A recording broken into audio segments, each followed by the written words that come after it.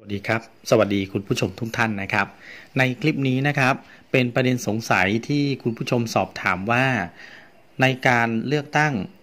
ในส่วนขององค์การบริหารส่วนตำบลเนี่ย ถ้าเขามีการรับรองนายกองค์การบริหารส่วนตำบลแล้ว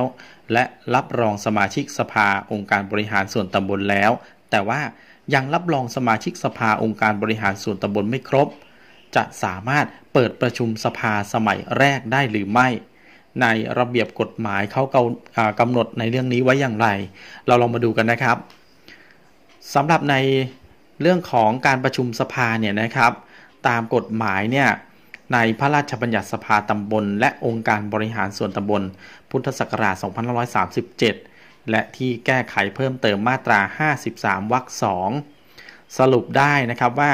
นายอำเภอเนี่ยต้องกำหนดให้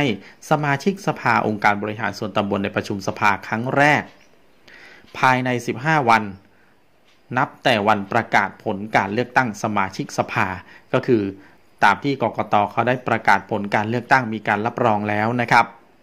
และตามระเบียบกระทรวงมหาดไทยว่าด้วยข้อบังคับการประชุมสภา ท้องถิ่น พศ 2547 แก้ไขเพิ่มเติม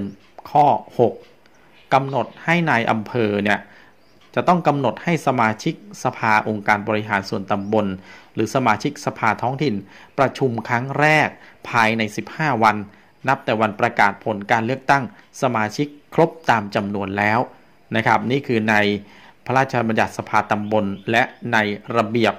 กระทรวงมหาดไทยว่าด้วยข้อบังคับการประชุมสภานะครับ ว่าจะต้องอมีสมาชิกครบตามจำนวน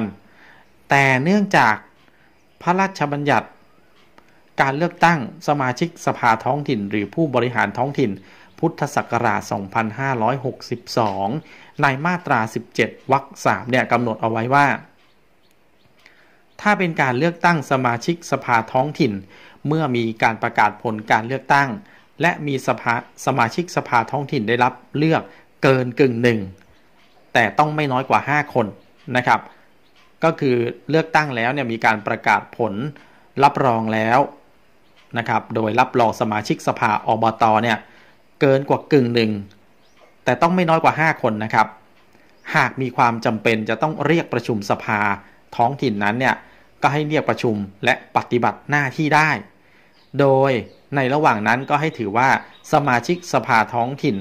หรือสมาชิกสภาอบตนั้นเนี่ย ประกอบด้วยสมาชิกเท่าที่มีอยู่นะครับ ยกตัวอย่างเช่นสมาชิกในตำบลนนี้เนี่ยมี 10 คน ปรากฏว่ารับรองไปแล้ว 8 คน อีก 2 คนอยู่ระหว่างการพิจารณารับรองนะครับ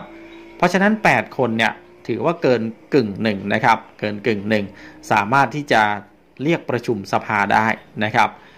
ซึ่งบทบัญญัติตามพระราชบัญญัติการเลือกตั้งสมาชิกสภาท้องถิ่น ในมาตรา 17 วรรค3เนี่ยมีลักษณะเป็นการยกเว้นการปฏิบัติตาม พระราชบัญญัติสภาตำบล และองค์การบริหารส่วนตำบล ในมาตรา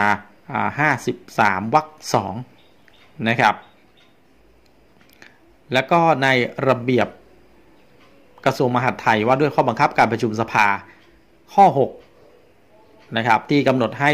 สมาชิกที่รับรองแล้วครบตามจำนวนจึงจะเรียกประชุมนะครับ เพราะฉะนั้น ในพระราชบัญญัติการเลือกตั้งท้องถิ่นมาตรา 17วรรค3เนี่ยเขายกเว้นเอาไว้นะครับว่าถ้าเกินสมาชิกรับรองมากกว่ากึ่งหนึ่งแต่ไม่น้อยกว่า 5 คน สามารถจะเรียกประชุมสภาได้นะครับ ซึ่งถ้าดูตามเจตนารมณ์ของกฎหมายในพระราชบัญญัติการเลือกตั้งท้องถิ่นมาตรา 17วรรค3เนี่ยนะครับ ก็เจตนารมณ์นะครับ กำหนดให้มีการเรียกประชุมสภาและปฏิบัติหน้าที่ได้นะครับ เมื่อมีความจำเป็นนะครับ โดยจะต้องคำนึงถึงความจำเป็น ซึ่งนายอำเภอเนี่ยจะเรียกประชุมสภาท้องถิ่น ตามพระราชบัญญัติการเลือกตั้งสมาชิกสภาท้องถิ่น ปีพุทธศักราช 2562 มาตรา 17 ดังกล่าวนั้น จะต้องเป็นการพิจารณาจะต้องพิจารณาเป็นกรณีไปนะครับ ดังนั้นเนี่ยหากนายอำเภอ พิจารณาแล้วเห็นว่ามีความจำเป็น จะต้องเรียกประชุมสภา ก็ย่อมสามารถที่จะเรียกประชุมสภาครั้งแรกได้ เมื่อสมาชิกสภาท้องถิ่นได้รับเลือกเกินกึ่งหนึ่งแต่ไม่น้อยกว่า 5 คนนั่นเอง เพราะฉะนั้นนะครับถึงแม้จะรับรองสมาชิกยังไม่หมดนะครับ ก็สามารถเรียกประชุมสภาท้องถิ่นได้นะครับ หรือเรียกประชุมสภาองค์การบริหารส่วนตำบลได้นั่นเองนะครับ